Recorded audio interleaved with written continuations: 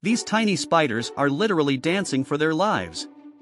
Peacock spiders are a type of jumping spider that is most commonly found in southern Australia. They are mini spiders, often less than 4 millimeters long and the size of a small grain of rice. Peacock spiders get their name from the beautiful colors that the males exhibit on their abdomen. The purpose of this unusual coloration is to attract females, which seem entranced by the bright patterns and dancing display of the males.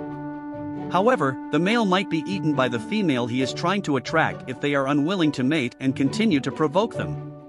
If he is successful, the female will let him mate. These spiders are incredibly agile and can jump over 40 times their body length. That's the equivalent to a human jumping 70 meters.